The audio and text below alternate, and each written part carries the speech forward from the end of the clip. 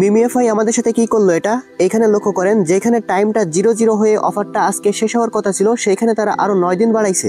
এইটা কোন ধরনের বাটফারি ভাই?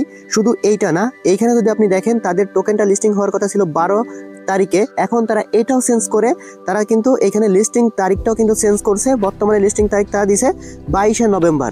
বা এটা কোন ধরনের বাটফারি হচ্ছে?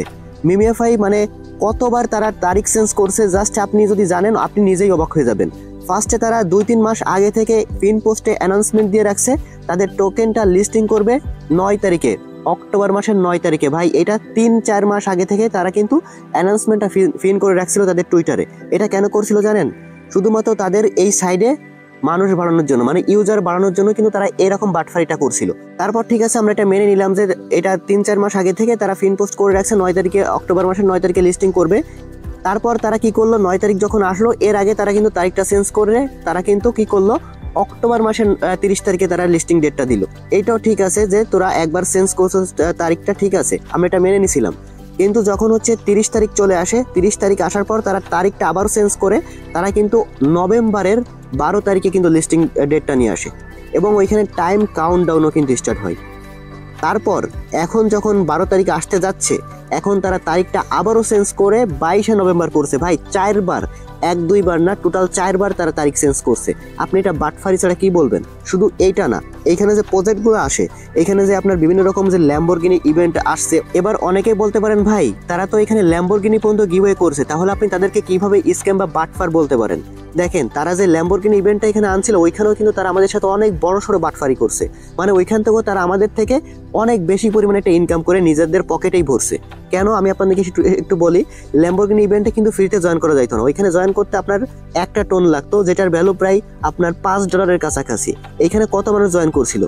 পাঁচ লক্ষ প্লাস মানুষ এখানে জয়েন করছিল। তাদের এইখানে ল্যাম্বরগিনি ইভেন্ট থেকে ইনকাম হয়েছিল নিজে- নিজেদের ইনকাম হয়েছিল টু পয়েন্ট ফাইভ মিলিয়ন ডলারের মতো। ওকে যেটা কিন্তু আপনি যদি ধরেন যে আপনার পঁচিশ লাখ ডলারের মতো তাদের নিজেদের ইনকাম হয়েছিল। তারা কি গিভওয়ে দিয়েছে ওইখান থেকে একটা ল্যাম্বরগিনি দিয়েছে একটা ল্যাম্বরগিনির দামই কিন্তু আপনার চার পাঁচ লাখ ডলার মানে চার পাঁচ লাখ ডলার ভাই, শুধুমাত্র।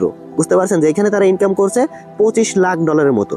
আর যেখানে একটা ল্যাম্বরগিনির দাম হচ্ছে আপনার চার লাখ ডলার ধরেন আপনি ওইখানে আর ওইখানে সামান্য কিছু পাঁচ হাজার ডলার পাঁচশো ডলার পাঁচ হাজার ডলার পাঁচশো ডলার করে সামান্য কিছু গিভ করেছে। তারপর কিন্তু ওইখানে বেশিরভাগ লোক কিন্তু ইনঅ্যাক্টিভ ছিল। বেশি একটা মানুষ পায় নাই। তাদের টোটাল আমি খরচ ধরলাম ওইখানে ইউজারদেরকে দিছে পাঁচ লাখ ডলার দিছে। আর তাদের নিজেদের পকেটেই পড়ছে টু মিলিয়ন ডলার বিশ লাখ ডলার নিজেদের পকেটে পড়ছে এরকম ইভেন্ট যদি তারা বারবার কিন্তু আনতে চাইবে।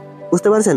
মানে আপনি যদি এরকম দেখেন যে আপনার নিজেদের পকেটে চার গুণ থাকতেছে আর আপনি ইউজারদেরকে এক গুণ দিতেছেন, তো ওই রকম ইভেন্ট আপনি বারবার আনতেই চাইবেন। এরকম কিন্তু বাটফারি তারা বারবার করতেই চাইবে। তো এইটা ভাই কোন ধরনের বাটফারি বলে? এক দুইবার তারিখ চেঞ্জ করা যায় সেটা ঠিক আছে। এটা ইউজারদের সাথে মানে এক ধরনের বাটফারি বলা যাচ্ছে।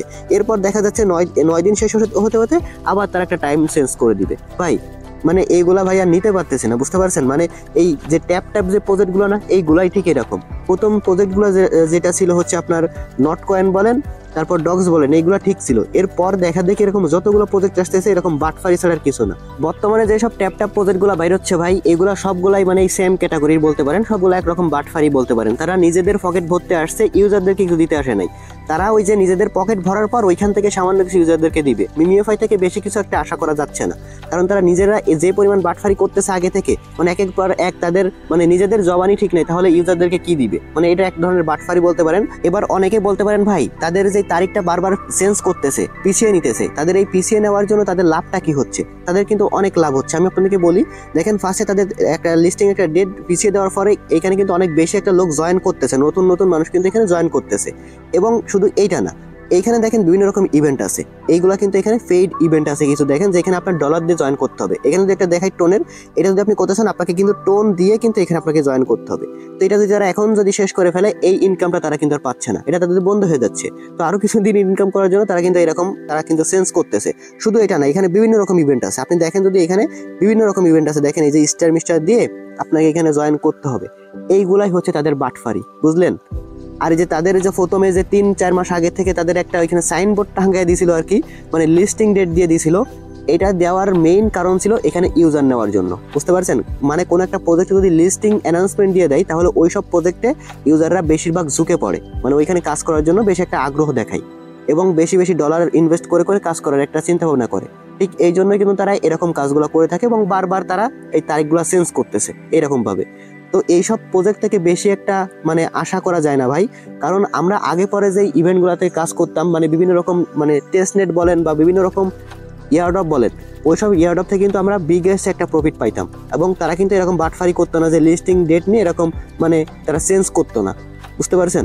তো এখন এই ট্যাপ ট্যাপ প্রজেক্টগুলো এরকম কপি ভার্সন সবগুলো আসতেছে আর এরকমভাবে মানে আমাদের সাথে বাটফারি করে যাচ্ছে। তো এগুলো ভাই আমাদের দেখেই যাইতে হবে। আর কারণ বর্তমান সময়ে এইসব প্রজেক্টে সবাই মানে ঝোঁক বেশি।